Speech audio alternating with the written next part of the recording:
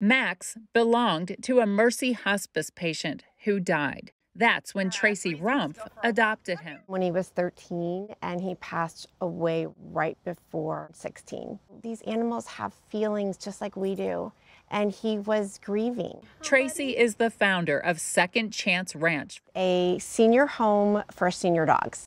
Tracy's mission aligns with a special program through Mercy Hospice, Mercy Pet Peace of Mind. What's going to happen to their pet after they pass? So we help with that. We help find a loving forever home so they know that their pet will be taken care of after they're gone. The stories shared are all about love and mercy. I just saw his little eyes. I saw how sad he was, and I realized how much he needed another family. The minute that I introduced him to my boys and he just lit up, I knew that he was going to have a great life with us for whatever life he had